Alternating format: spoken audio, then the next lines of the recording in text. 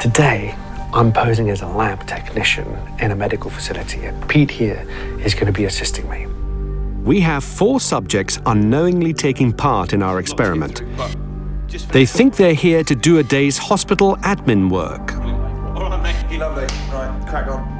In fact, we're going to explore people's irrational fears and then see how quickly they become used to a new and challenging environment. Now, this is Tarjay. She thinks she's covering a shift for her friend for the day. Um, so if you don't mind. So a real body was like in here. Hmm? A real body was in here.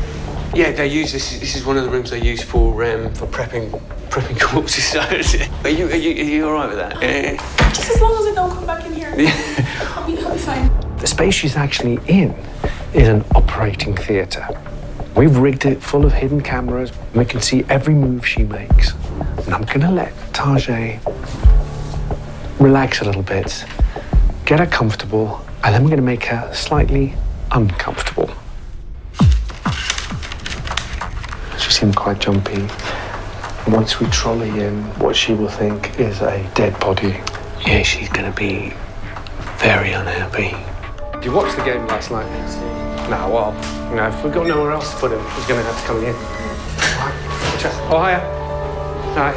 I, I know you, I'm really sorry about this. Right? No. Like, okay, here's the thing. Here. Just on my three. One, two, three. Sorry. We need a second. Oh, God, it's heavy. Give me a minute. Um, is that, um, is that dead body like a real body? Uh, yeah. But It's just we, got no we, other. we've got no other rooms to put it, and there's a lecture here. There's um, some people who've given their body to science. What? Okay, okay.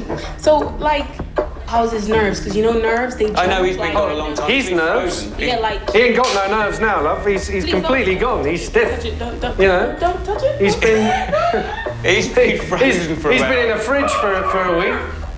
I'll bring you some water, yeah? All right. Tajay does seem a bit unnerved. The boys were more comfortable with the body, so we decided to end their experiments in a more lively way.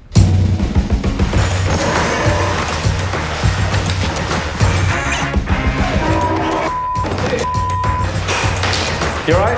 Oh, okay. Oh, no, no, yeah. Oh. I'll let, I'll let you. you okay? Come here. I'm Alex. You're this right, is Alex. this is Pete. Oh yeah. You're right, Alex.